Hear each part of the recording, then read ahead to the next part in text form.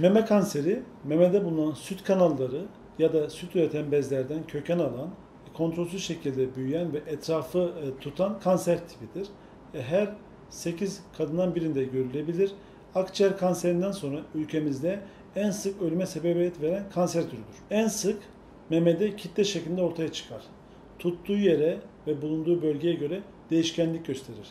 Memede şişlik, ödem, kızarıklık, pullanma ve meme başından kanlı akıntı gibi şikayetlerle hasta kliniğe başvurabilir. Meme kanserinin birçok sebebi vardır ama en sık hastada hiçbir sebep yokken, ailede bile saptanmazken kendiliğinden tek bir bireyde ortaya çıkabilir.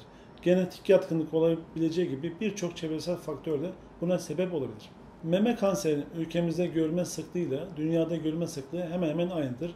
Ortalama 8 kadından biri ömrü boyunca meme kanserine yakalanma riskiyle karşı karşıyadır. Meme kanseri nedeniyle kliniğe en çok başvuru şekli memede ele gelen kitledir. Memesinde kitle şikayeti olan hasta mutlaka önce kendisini muayene- etmeli, daha sonra mutlaka bir genel cerrahi doktoruna başvurmalıdır. E, memede hastanın bir kitle şikayeti olduğunda yaşına göre bir radyolojik görüntüleme istenebilir. Eğer gençse yani 20 ile 40 yaş arasındaysa bir meme ultrasonu, 40 yaşından sonra bir mamografi ve duruma göre bir meme MR'ı e, istenebilir. Meme kanserinde en önemli olay erken tanıdır.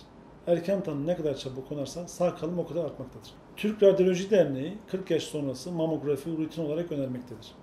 Ancak şüpheli durumlarda ailesel yatkınlık varsa, ultrasonda şüpheli bir görüntü varsa e, 40 yaşından önce de mamografi istenebilir. Memede bir kitle saptanıp radyolojik olarak da şüpheli ise kitlenin adını koyabilmek adına bu hastalara e, kalın iğne biyopsisi denilen radyoloji ve ultrason eşliğinde bir biyopsi yapılabilir.